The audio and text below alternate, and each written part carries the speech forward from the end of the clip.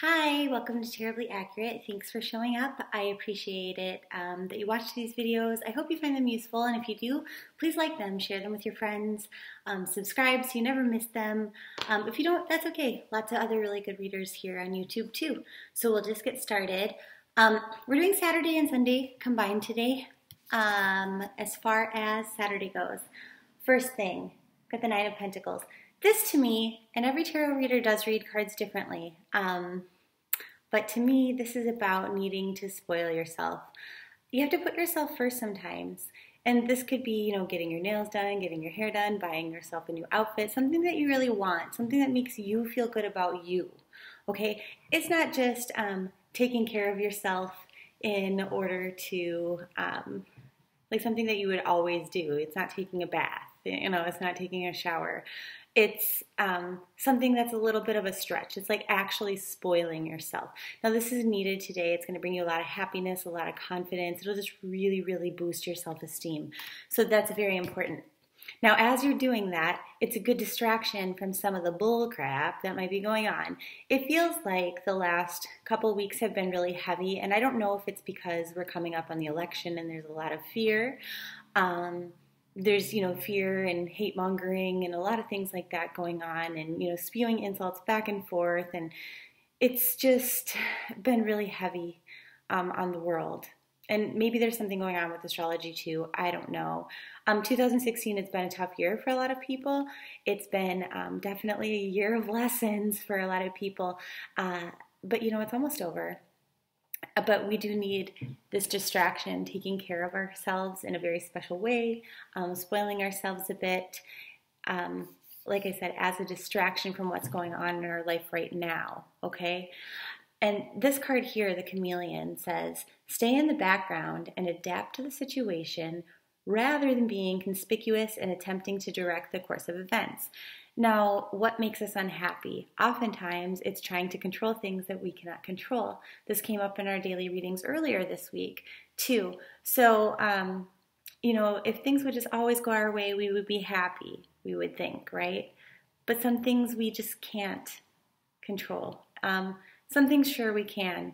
But the more that we grasp at that control and fail, the more unhappy we become. So, this is one of those things um, in your life right now that maybe you just kind of have to sit back and wait for it to work itself out and distract yourself from like that itch to want to try to control things. Now, our color energy for Saturday is indigo, and it says improving your vision. Now, this could be your physical vision. You could use the card that way, this color energy. Um, it's also, though, like your thought patterns as well. It helps you achieve focus. This is a great color to use, great color energy for people who have ADD, ADHD. It can heal depression and anxiety. It's a new way of looking at things. Um, I don't know if you've heard of indigo children, but they look at things totally different. You know, they have like innate psychic abilities and um, often are empaths. So they see everything from an emotional standpoint. So maybe that's a challenge for you today. Um, and we'll do the daily affirmation when we get to the end of the video right after Sunday as well.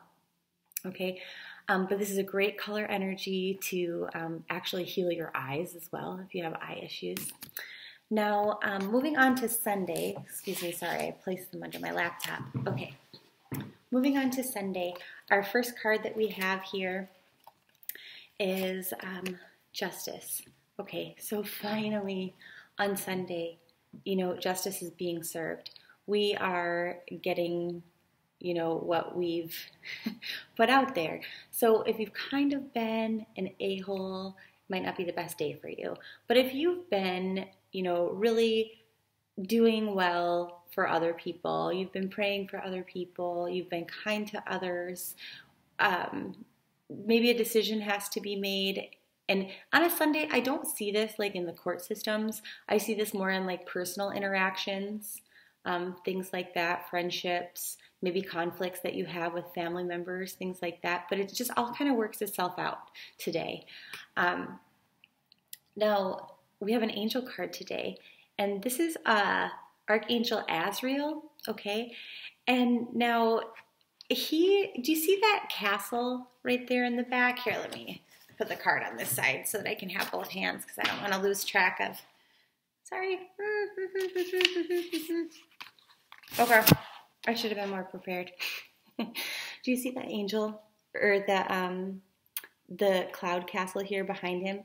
Like just floating there. It's about your dreams, okay? What is it that you dream of? This card is asking you to follow your natural gut instincts, your intuition, even when logic defines defies it, you know? Like when you have a gut instinct, like a feeling about something, it's usually right. And there's a reason why you're having that, even if it doesn't make logical sense. Now, um, if you are the one to have to make a decision today, this is a big shout out from your angels telling you please follow your gut instincts. We are we're sending you messages. You know if you feel it if you really feel it in your gut that's our advice to you. That's our guidance. You know because we want things to work out for the best possible outcome for you. That's what we do. You know angels that's what they do. They they're around to guide you, to love you, to put you on the best path possible. And even when you make mistakes, to just be there to comfort you because you are human, right? So um, let me get your color energy over here. Um, let's see. So your color energy today is gray, and we've had this one a lot recently. It says, learn to scan your body. So this is about figuring out where your blockages are and trying to eliminate those blockages. Often blockages are caused by fear, okay? And maybe it's fear that we're going to make the wrong choice. And so that's why we're starting here with please, you know, go with your gut this time so that you can have a fair outcome, something fair to you and to other people, compromise, things like that. Um, if it makes logical sense to do it a different way, I mean, you might go that way instead because you fear trusting your intuition that maybe it's not correct. However, this card, Azrael, he really tells you that um, the more that you go with your gut, the more that you trust it, the more accurate it will become. Okay? So we've got gray, learning to scan your body. Now I'm going to give you your daily affirmations for the gray and the purple. So Saturday is um, the purple, the indigo, and it says, Divine intelligence, please allow what I have seen in my vision to manifest in the perfect time and in the perfect way. So remember how we were talking about with Azrael, this castle here, this dream that we want to manifest. We can use this both days actually, okay? Envision what it is that you want. Think about that. And then use the purple energy and then continue to use it on Sunday if you wish. Um, and then on Sunday with our gray energy. It says, Divine intelligence, please release all stuckness and limitation from my life so that I can welcome freedom, creativity, and well being. Okay? Um, so, really, personally, I would use purple Saturday. I would use gray on Sunday and then purple again. Okay? Or indigo again on Sunday um, for the best outcome because once those blockages are kind of cleared, maybe our vision becomes even more um, clear and focused. And remember what Azrael says the more that we trust our intuition and we go with our gut, the more accurate it becomes. Okay, so I hope that you find this helpful. I hope that you have a fantastic weekend and that next um, week is much lighter for a lot of you.